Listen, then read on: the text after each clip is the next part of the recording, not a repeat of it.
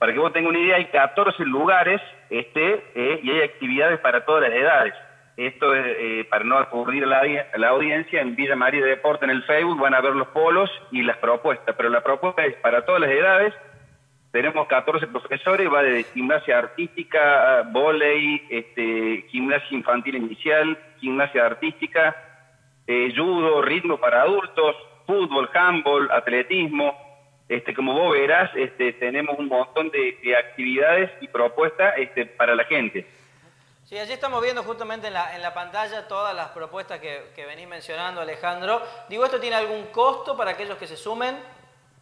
Mira, eh, las únicas actividades que, que, van a tener costo es las que se van a dictar en el Salón de los Deportes, que es gimnasia artística, rítmica, mini volley, mini handball, Newcom, handball femenino y volley femenino, que estamos hablando de un valor este, mensual de 5 mil pesos y la gimnasia de adulto 2.000. El resto de las actividades que están mencionadas este, eh, van a ser sin, sin, costo en el resto de los polos este, para que la gente pueda a, acceder y, y, y, pueda disfrutar y pueda tener un esparcimiento, que es lo más importante que un cable tierra. Nosotros consideramos este, para que en el diario vivir uno podía descargar y pasar un grato momento con, con otra gente.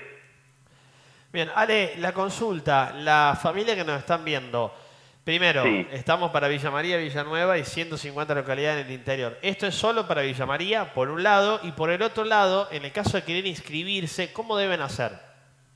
Sí, en el caso que quieren inscribirse, se le piden dos requisitos nomás, que lleven la fotocopia del DNI del chico que va a hacer, y del padre y la madre si es un menor, ¿no es cierto? Sí. Y una fotocopia y un certificado único de salud.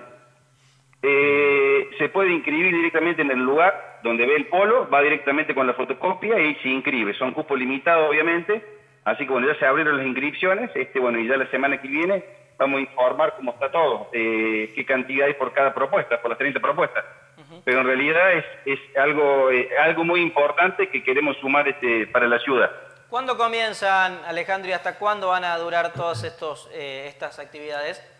La actividad van a durar todo, todo el año y ya empezó la fecha, se inscribe y la gente ya, ya puede arrancar. Uh -huh. Y tenemos algo muy importante también para lanzar, que vamos a hacer dos ligas amateurs, digamos, para que toda aquella gente que no compite y no está pegada, tanto de handball y de volei. El de handball es femenino y masculino y de volei.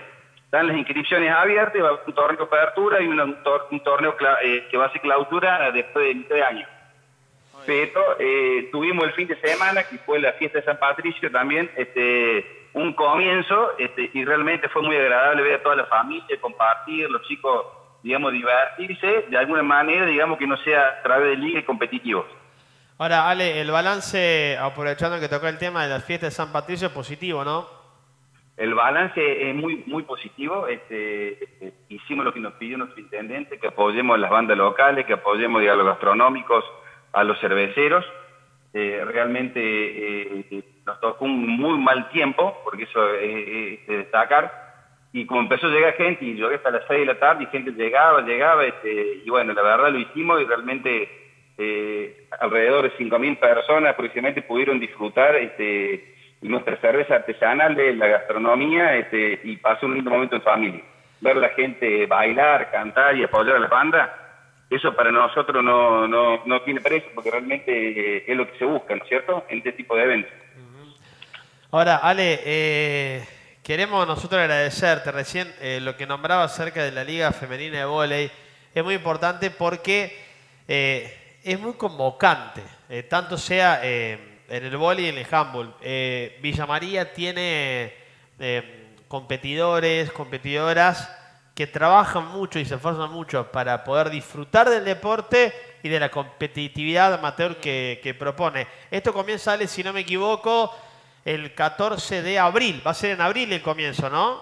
Claro, la, la liga masculina de handball, ¿no es cierto? Sí. Y de femenino masculino, el 14 de abril inicia.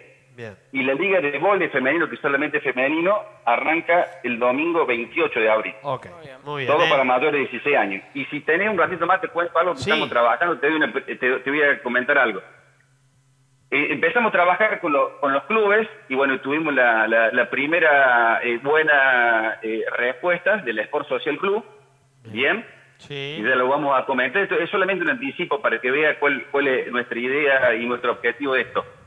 Ellos están dispuestos a ir una vez a la semana a los playones que nosotros lo indiquemos con los profesores, raquetas, pelotas, todo lo que hagan, para que todos los chicos puedan acceder a ese deporte. ¿Está bien? Que hoy con la situación económica, todo lo demás, uno tiene que ir al sport, asociarse y comprar todo el indumentario, raquetas, etcétera. Pero le agregamos algo más, que lo vamos a anunciar. A ver, Ale, ¿te tenemos por ahí? Creo que lo perdimos, Todos perdemos ¿eh? la señal. Creo que Justo lo estaba por decir algo más. Pero bueno, importante esto que a los barrios